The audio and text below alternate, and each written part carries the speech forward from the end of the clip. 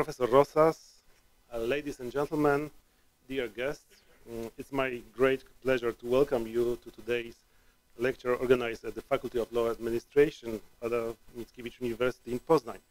I'm very pleased to host you within the walls of our university, uh, distinguished specialist in European law, Professor Allan Rosas, who will deliver a lecture entitled The European Court of Justice, Do All Roads Lead to Luxembourg. Today's meeting is part of the series of lectures in honor of Professor Krzysztof Skubiszewski, which aim to spread knowledge of the important issue of international law. Uh, this lecture is organized in cooperation with the foundation named after Professor Skubiszewski. Professor Krzysztof Skubiszewski was a professor of our faculty and the Minister of Foreign Affairs of the Republic of Poland, as well as uh, a respected lawyer and diplomat who, with the, his academic achievements and public activities, left a lasting mark in our history. Today's event is also supported financially by the city of Poznań as part of the academic Poznań program. Thanks to this initiative, we are able to continue our mission of developing cooperation with outstanding specialists from all over the world and promoting Poznań as a place conducive to the exchange of academic ideas and inspiring discussions. The subject of Professor Rosas' lecture is extremely timely and important for understanding the contemporary challenges of facing the European Union. The question of whether all roads lead to Luxembourg opens up a discussion on the role of the Court of Justice of the European Union in shaping European law and its impact on the EU member states. This is particularly relevant, especially in the context of the Europeans' dynamically changing legal and political environment. The challenges Europe is facing today are having a major impact on the system of the Europeans' values, and these values are being tested and protected by, among others, the European Court of Justice. Professor Rosas, we are delighted that you, are, you have agreed to share your knowledge and experience with, with us, with our students, and uh, with our colleagues. On behalf of our academic community, of our university and faculty, I welcome you once again and thank you for accepting our invitation. I wish you all inspiring lecture and fruitful discussions. Thank you very much, and now please, Ms. Agatha Hauser, have a speech. Thank you very much.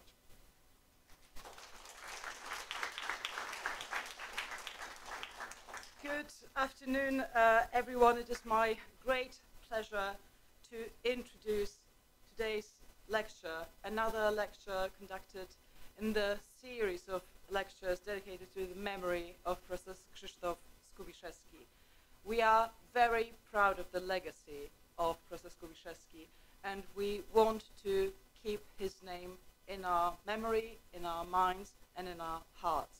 And I'm very happy that Professor Rosas agreed to join us in this endeavor, endeavor of commemorating uh, Professor Skubiszewski. Uh, today's lecture on the role of the Court of Justice of the EU will be presented by Professor Allan Rosas. And we are extremely happy to have such a distinguished specialist in the field speaking about the court. Uh, it is important to remember that Professor Rosas has served on the court for 17 years, and many groundbreaking cases we discussed during our lectures, during our classes, our students used in their thesis, uh, were adopted with him on the bench and him participating in sculpturing our current understanding of the major EU principles. We have to remember that the role of the Court of Justice is not easy. It is a court that has to, uh, in a way, uh, agree on things that are different to agree on. There are many conflicting interests the court has to take into consideration. And it is incredible that throughout the process of functioning of the court, the Court of Justice of the EU has shaped the general principles, the rules related to protection of individuals, and the rules concerning the common market. Today's lecture is dedicated to the issue of the court's jurisdiction and its role vis-à-vis -vis national courts. And we have to remember that national courts are considered as part of the EU judiciary, and they are considered as national, uh, EU courts as well. So it will be interesting to listen about how this difficult relationship works in practice. Professor Rosas, we are very excited and very happy you are joining us here today, and we are looking forward to your speech. And without further ado, you have the floor.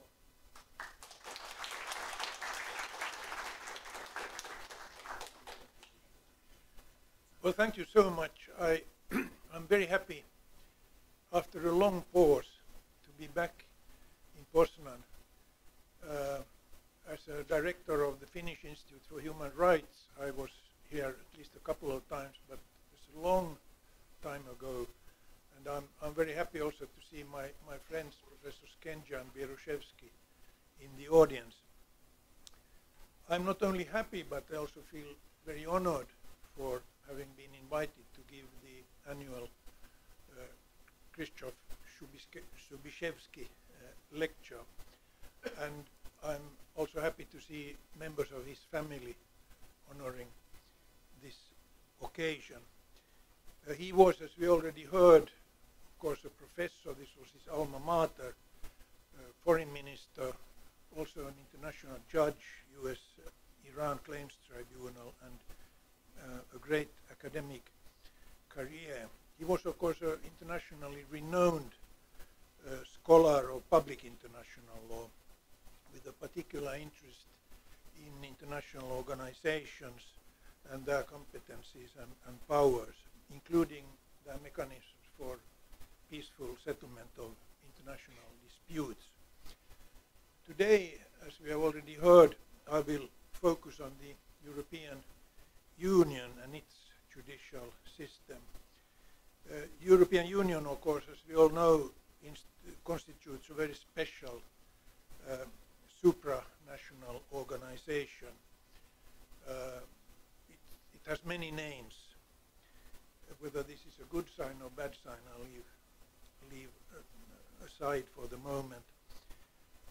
And of course, I will particularly focus on, on the judicial system, which constitutes, generally speaking, a more far-reaching system for the settlement of disputes than what is customary in intergovernmental contexts.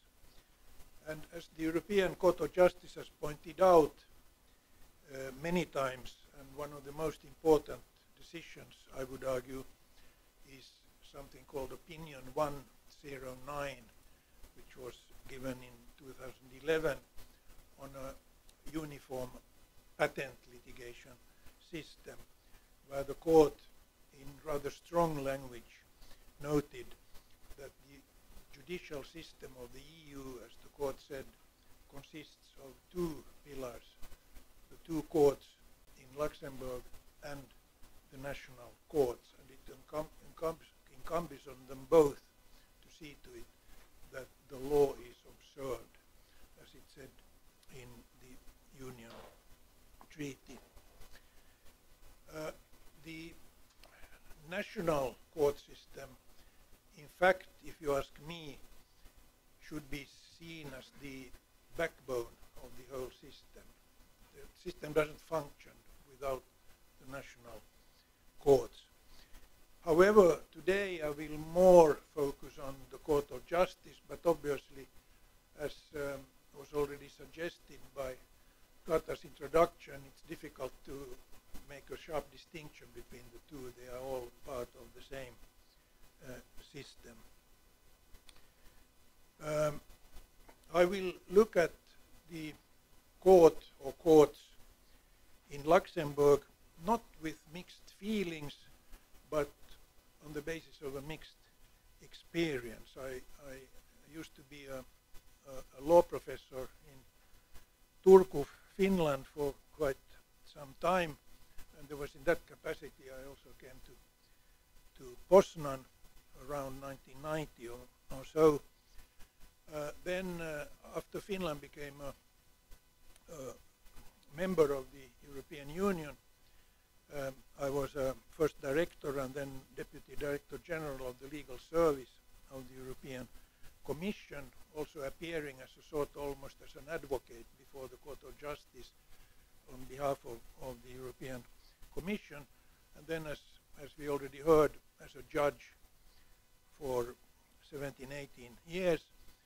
And uh, currently, and I will say about, about that a little bit more later, I happen to be president of the so-called Article 255 panel uh, charged with assessing the suitability, as the legal text says, suitability of candidates to perform the duty of judge and advocate general of the Court of Justice and the General Court. So this obviously gives me a possibility to, to see who, who are my, or who are not my uh, successors at the, at the court. So when I look at the Court of Justice, it's probably based on a sort of a mix of, of, of these different experiences. Uh, as I'm sure many of you know, the EU judicial system provides for a variety of procedural remedies, uh, some of which are also open to actions by individuals. Uh, such, as we call them, direct actions, notably actions for annulment and actions for uh, actions seeking uh, compensation for damage, are limited to acts and failures to act of the union institutions in Brussels or Luxembourg or Strasbourg.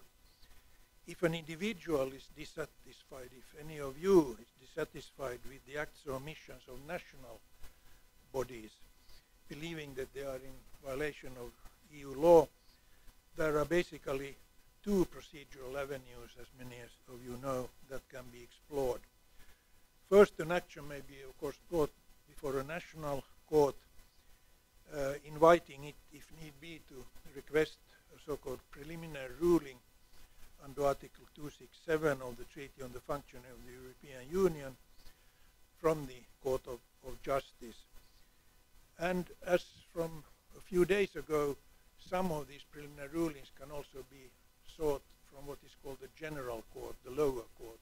It used to be called Court of First Instance, but today it's a General Court for instance, value-added tax, customs law, uh, air companies' responsibility for um, for um, failure to, to, to, deliver a plane in time uh, and, and some other issues which have been transferred from the Court of Justice to the General Court that entered into force the 1st October.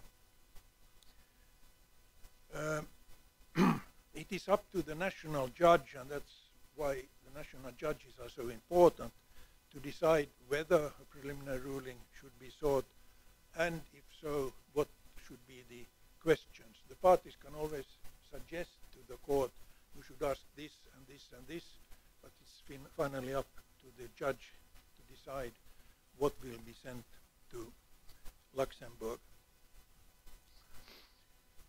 Uh, in um, uh, a judgment which is fairly recent, called Consorzio, the European Court of, of Justice has ruled that um, if the court of last instance, which in principle has an obligation to ask these preliminary rulings, fails to do so, even if one or both of the parties have so requested, uh, in that case, at least it should give a reasoning of its judgment. Uh, and uh, the same principle may today also follow from the recent case law of the European Court of Human Rights in Strasbourg, which is not an EU institution, formally speaking. It's sponsored by the Council of Europe, which consists of more than 40 member states, many more than of the European Union. The Strasbourg case law um, uh, is based on the idea that the failure to provide reasoning for not asking a preliminary question, if it's a Supreme Court or other court of last instance, can lead to a violation of Article 6 of the European Convention of Human Rights. That said, it has to be acknowledged that the preliminary ruling also has its limits. Um, the um, the court in Luxembourg is supposed only to interpret the law, uh, whereas the facts of the case and the national law should be decided by the national judge. And that uh, also um, sometimes causes problems, uh, or at least the question, how much should the Court of Justice in Luxembourg say about something like, for instance, the situation in Poland, so I'm sure you are well aware, and how much should be le left to the national judge. And the Court of Justice also recently has refused, as many of you may have, have seen, to answer certain questions, saying that answering them is not necessary in order to solve a concrete dispute. But such situations also, of course, can arise with respect to other countries uh, than Poland. That's, that was a word about the um, preliminary ruling. Uh, another remedy, of course, is what is called infringement procedure. Um, and, um, and there it is normally up to the European Commission to decide whether such an action should be brought before the Court of Justice or not. So it can be Commission versus Poland, Commission versus Romania, Commission versus Finland, etc. Member states also have a possibility to bring cases against each other, but that's used very rarely. Uh, member states don't want to sort of criticize each other somehow. So it's normally the Commission. Um, and um, such infringement cases, by the way, also can concern the question I already touched upon, in other words, the obligation in principle of court of last instance to ask for a preliminary ruling. Because we have now two judgments from Luxembourg, where first France in 2018 and very recently this year United Kingdom were condemned because their Supreme Court did not ask a question even if the court in Luxembourg thought that they should have. Why am I saying the United Kingdom? Have I not heard about Brexit? Well, this is because of the transitional period. So it was still possible because this had happened during this transitional period, the refusal to, to, to send a, uh, a request to, to Luxembourg. Uh, it's up to the European Commission to decide, and if it's a negative decision, the Commission maybe it has to be open, uh, openly admitted, maybe for political reasons, decides not to bring a case, or to bring a case, but if, you have complained to the Commission and they don't bring, then obviously you would like to challenge that. But if you bring a case to Luxembourg, that will be declared inadmissible. So it's considered a free margin of appreciation of the Commission whether to bring a case or not.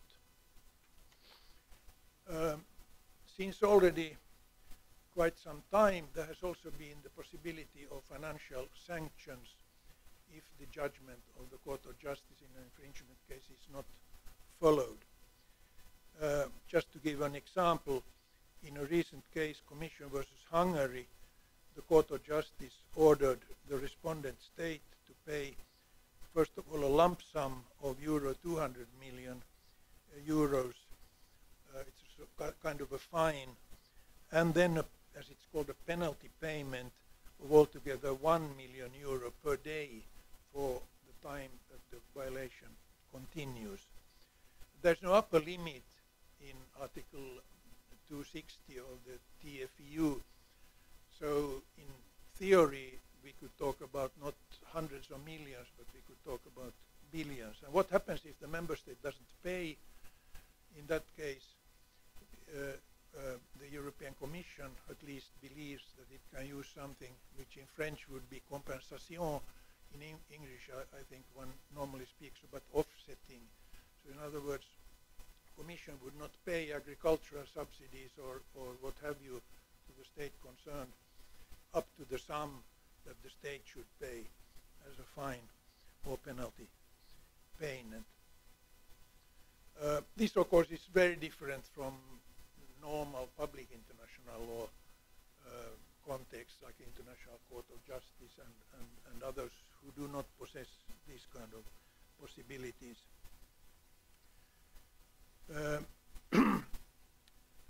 availability and also frequent use of these procedural remedies, and I haven't mentioned them all, uh, explain at least partly why it's a generally held view, I would argue, that the union courts, the Luxembourg courts, play an important role in the workings of the EU and in shaping what could be called its constitutional structure. Uh, the Court of Justice has in fact contributed, it's maybe the only one, but I think its contribution may be the most important one to something that we could call the constitutionalization of the European Union from being an international organization to a constitutional system. I know everybody would not agree with this, so this is a personal uh, view. Together with the European Parliament, the European Commission and the European Central Bank, the Union courts can be seen as part of a more federal, or if you prefer, federative branches of the EU, as compared to the EU Council of Ministers, or Council, its the official name, the European Council, which is the summit of heads of state and government, and inter intergovernmental cooperation between the 27 member states. Um, but have the two courts in Luxembourg become so important that you could say that all roads lead to Luxembourg. I'll come back to that at the end. Let me instead now make a small excursion to the United States and the status of the US Supreme Court in particular. Why I have picked the US Supreme Court, uh, there are considerable differences between American federalism and the European integration process. The latter, of course, being of a much more recent origin and still displaying some more intergovernmental features, notably in the area of the common foreign and security policy, very often um, abbreviated as CFSP. Uh, however, the constitutional significance and dynamism of the case law of these two courts also offer interesting points of comparison. As early as 1835, so we go really back in time, Alexis de Tocqueville, a well-known observer of the U.S. constitutional system, in his Democracy in America, described the Supreme Court in the following terms, and I will quote, in the hands of seven federal judges, today they are nine, but this was 1835, rest unceasingly the peace, prosperity, the very existence of the Union. Without them, the Constitution is a dead letter.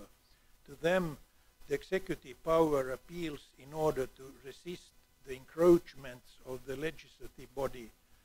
The legislative to defend itself against the undertakings of the executive power the Union to make the states obey, the states to repulse the ex exaggerated pretensions of the Union, public interest against private interest, the spirit of conservation against democratic instability. Their power is immense, but it is a power of opinion. Uh, end of quotation. That was the US Supreme Court, it was not the European Court of, of Justice. But the question, of course, is if de Tocqueville were to study democracy in Europe today, well, first of all, I'm sure he would find a lot, lot of problems. But could he argue that the role he described to the US Supreme Court is now shared or even taken over by the European Court of Justice? If the comparison is made between the US constitutional system in the first half of the 19th century, that is before the Civil War, uh, and the EU situation of today, one would be tempted to say, at least I would be, that the Luxembourg courts play a more important role than the Supreme Court, but then a long time ago. Why is this? This is because, particularly before the American Civil War, the US constitutional system including respect for the rulings of the Supreme Court, was in fact quite fragile, despite what de Tocqueville was saying. the sub-federal states, the United States of America. Um, so it's a union of states. The sub-federal states and their courts often declined, more often than member states of union today, to follow decisions and rulings from Washington. There were a lot of rebellions even before the Civil War, and then of course you have even the Civil War when some of them tried to, to leave. It was only gradually that the federal government and the federal courts managed to assert their predominance. Today, the US constitutional system, while still being debated with regard to the relationship between the sub-federal states and the Union and the question of ultimate sovereignty, um, demonstrates, after all, a more stable nature than that of the EU which is still constantly on the move and the subject of fierce debates, also political ones. The initial EEC treaty, the Treaty of Rome of 1957, is a curious blend of general principles and objectives and more detailed provisions with many questions left unanswered in the texts of the treaty. The subsequent treaty developments with the Single European Act, the treaties of Maastricht, Amsterdam, Nice, and last but not least Lisbon, have certainly clarified some issues, but many questions have been left to the case law, and some of them still await clarification. The result is that the European Court of Justice is still today faced with a constitutionally fuzzy collection of values principles, objectives, and rules of various sorts. Some very general, others quite detailed technical in nature. Especially concerning the general values, principles, and objectives, in short, the constitutional structure, there is a pluralism of opinions on how to interpret and apply these norms or how to develop them in the future. The court, whether it likes it or not, uh, is not only confronted with economic, administrative, and technical questions, but has to perform the functions of the constitutional court as well. Two days ago, I heard the president of the court uh, of justice in a public speech say that the court of justice is sort of a combination of constitutional court and supreme court You can express this relationship also in other ways, but that's at least what he said. What are the features inherent in the Luxembourg Court's tasks that explain why the Union judicial system and the role of the Court of Justice in particular has assumed such a crucial role? I already mentioned uh, the uh, significance of procedural remedies which go much beyond what you have in public international law uh, contexts. Uh, but the importance of these remedies, it goes without saying, also hinges on the scope, nature, and content of the legal rules to be applied. If you have very few limited number of legal rules, your uh, role will obviously be more limited. And in this respect, as I'm sure you all have somehow at least detected, we have seen a re remarkable development. The integration process started quite modestly with the supranational management of coal and steel production, but after this series of treaty and treaty amendments, it extends today to what I would say is practically all, uh, all areas of law, including, even if to a limited extent, the common defense policy, which was completely uh, impossible to imagine 20 or 30 years ago. If we compare the areas of community competence before the Treaty of Maastricht of 1992 with the areas of the exclusive, shared, parallel, coordinating and supplementary competence of the Union following from Maastricht, uh, Amsterdam, Nice and the Treaty of Lisbon, we will realize that the last 30 years or so have brought about radical change. One factor contributing to this development has been the emergence, as from 1969, famous uh, judgment in Stauder versus City of Ulm, of EU fundamental rights, uh, of EU's own fundamental rights, so to speak, and the development culminating, of course, in the EU Charter of Fundamental Rights, which entered into force in 2009. True, the Union has to respect the principle of conferral, under which, to quote from Article 5, paragraph 2 of the Union Treaty, the Union shall act only within the limits of the competence conferred upon it by the Member States to attain the objectives set out therein. But if we look at the two treaties, TEU and TFEU, and all the protocols, which are also what is called EU primary law, and then this more than 100,000 pages of secondary law, directives, regulations, and, and so on, we realize that a lot has already been so confirmed. From a more limited beginning consisting mainly of the four economic freedoms, competition and state aid law and agriculture, the remit of union law already in the 1970s and 1980s started to expand inter alia to social affairs, environmental protection, transport, energy, taxation, and so on. And from the beginning, the common principles, objectives, and rules providing for a union com competence have in most cases been interpreted by the Court of Justice. It should certainly be recognized that the nature of union competence varies and is in some cases of a secondary nature, as it probably also should be. Yet, also the rules on supplementary competence, as it's called in EU jargon, or competence to coordinate member states' policies may require interpretation by the union courts. The area of economic policy, where union competence is weaker than with, with respect to monetary policy with the euro, welcome as soon as possible Poland, um, offers an example, especially the distinction between economic and monetary policy. Where's the line to draw between them?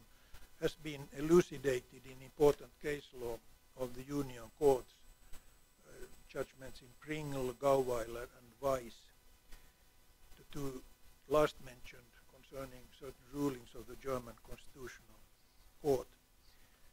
Apart from monetary and economic policy, as examples of areas of Luxembourg case law which would have been almost unthinkable before the Treaty of Maastricht, can be mentioned the sub-areas of the so-called area of freedom, security, and justice. That is, asylum and immigration law, judicial cooperation in civil matters, and judicial cooperation in criminal matters.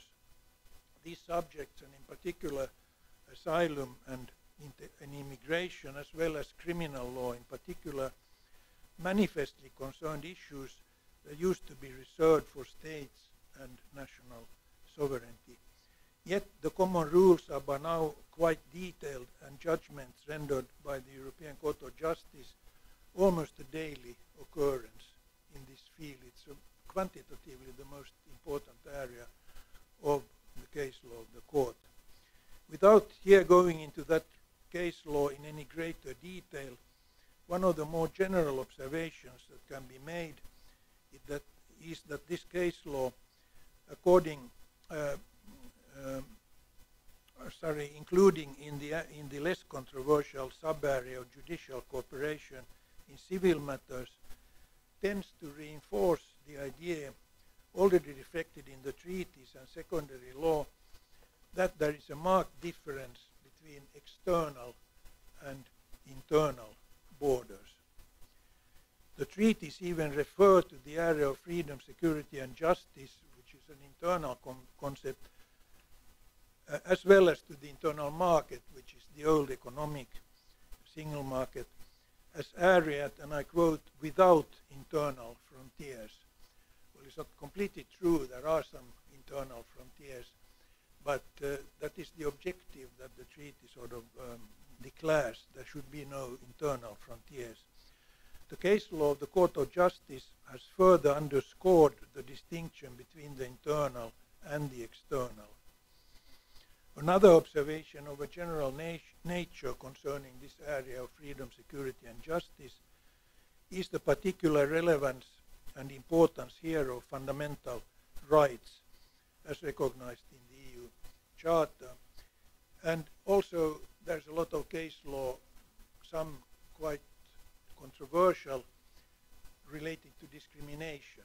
There are two important EU directives on discrimination of, of um, 2000, of the year 2000, and uh, uh, they have given rise to a lot of case law, including on such, such issues that can you be forced not to use a headscarf in the workplace, and, and other uh, issues. Can can uh, somebody working for a for a religious or a hospital owned by a religious community be fired for not uh, uh, being a, a, member of that same religion? And many many other uh, things of this nature. I remember when this case law started after 2000, there were some member states and also professors who said, how how, how can you go into this question of discrimination? Well, the answer, of course, was that there were two new directives. If the member states didn't want this, why did they enact these directives? It's not the European Court that provides directives. It's, it's normally the Council of Ministers and the European Parliament together.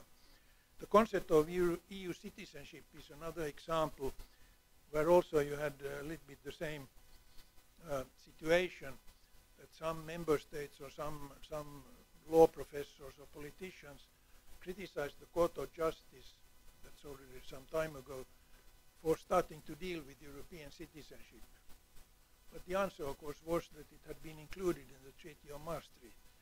Then some, some professors, including a well-known Danish professor, uh, said that yeah, but the Court of Justice should have understood that this was never seriously meant. It was just inserted to please Spain, which was advocating European citizenship. So you shouldn't take this as binding. But something which is in the treaty, funnily enough, the Court of Justice thinks is normally binding. So you see that uh, these treaty developments, not always, but very often are, are behind the the fact that the court then starts to deal with it. So the answer is quite simple in that says why why does the court mingle with these situations? Because they have been included in the treaty or in a directive, and then there are private parties who start and their advocates who start to to advocate them. Speaking about citizenship, the EU treaty says that uh, nationality is a matter for the member states and then everybody is a national of a member state uh, is a EU citizen. But that of course means that if you lose your national nationality, you also use your EU citizenship. And that has led the, the court, for some people very controversially, to say that it means that there's some checks and balancing also on your what you do with nationality. You can't arbitrarily deprive people of their national nationality. Why? Because then they will lose their EU citizenship. And, and already in an old case, Grzelczyk, uh, from I think 2001, if I remember correctly, the court said that union citizenship constitutes, and now I quote, the fundamental status of nationals or member states, and not something that should be, well, this is my own addition, and not something that should be discarded easily. I talked about the distinction between internal and the external. And speaking or, or taking a look at the external EU external relations that I was myself as a director in the Commission Legal Service responsible for seven or so years have developed considerable since the 1990s. There is an abundance of case law on union external competence, for instance, whether it is exclusive shared or parallel competence, and on the procedures to follow when entering into international agreements. The Union, as you may know, entered into thousands of international agreements, and not only concerning trade, but concerning a whole range of different issues. While member states still retain some freedom of action, uh, and and they all want to have their own foreign policy, the space for this space for national maneuver has been to some extent limited through developments in written law, but probably also in case law. The Luxembourg Court has also been called upon to control the exercise of the EU Council's and Parliament's decision-making powers, particularly within the field of EU sanctions in the TFEU called restrictive measures. Many sanctions packages against Russia, of course, is an example. But there are sanctions of similar nature taken against Syria, Iran, many African countries, and there's a long list, in fact.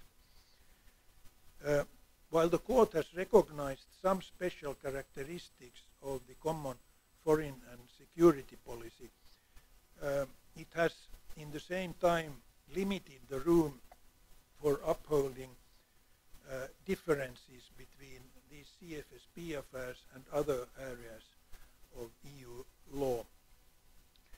Um, and um, um, this has, among other things, also in, in included the court interpreting its own jurisdiction in a rather more extensive way.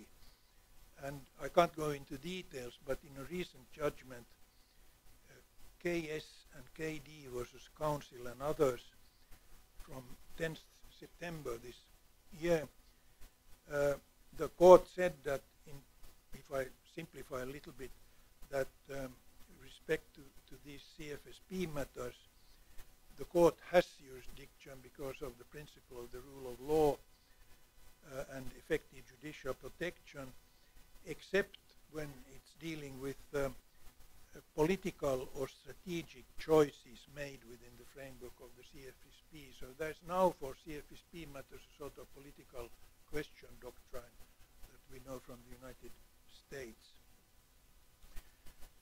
Uh, as is well known, the emphasis on the rule of law and effective judicial protection is not limited to external relations, but has become a central feature of recent case law more generally.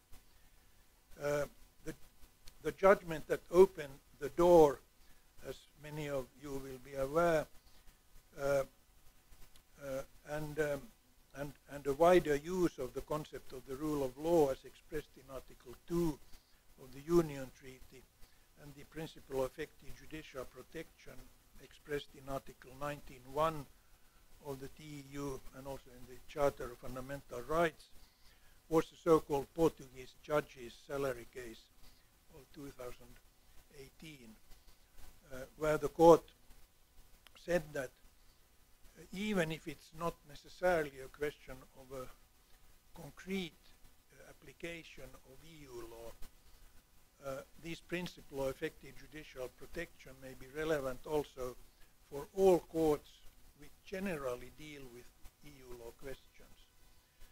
If you can mention one national court which never deals with any EU law question, uh, please tell me so. I, I can't think of, of any.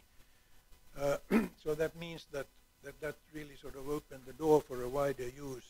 And the result, of course, is that now have all this very well known case law concerning Poland, but also concerning Romania, uh, Malta, and, and, and Hungary, etc.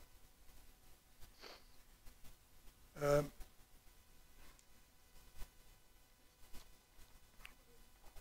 the principle of the primacy of union law, uh, which you could say has been vigorously defended by the union courts, has of course met with resistance from some national courts.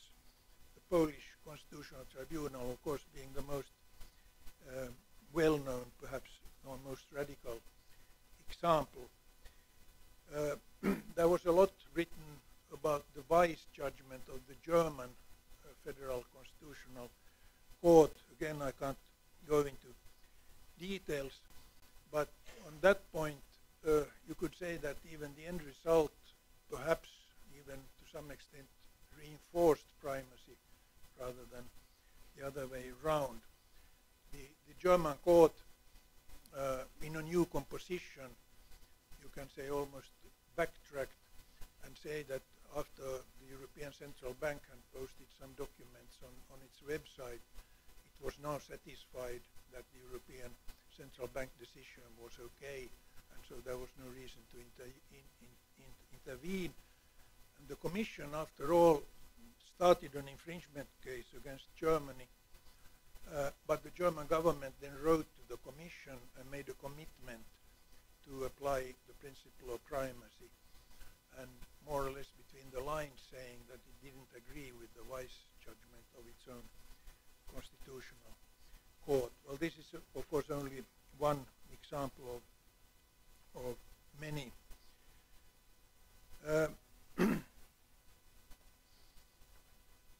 situation is obviously not free from problems.